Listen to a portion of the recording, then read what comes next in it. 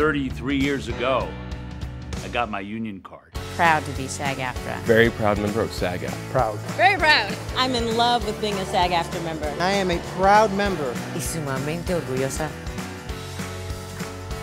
Hey, that's me. More than 30 years as a proud AFTRA, now SAG-AFTRA member. I'm not going to bite it.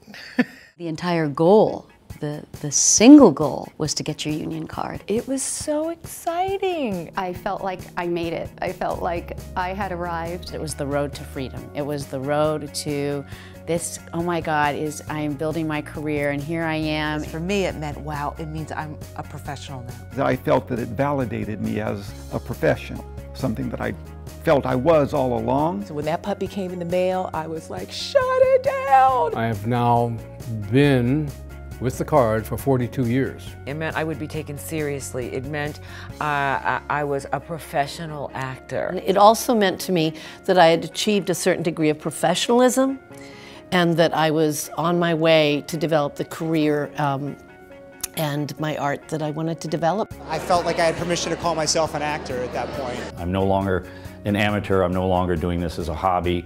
This is a legitimate business of which I'm invested in now. Now that I'm of retirement age, I am so grateful and surprised and astonished to have that pension. I believe in what SAG-AFTRA stands for. That made me part of something bigger, stronger than myself. My union means support.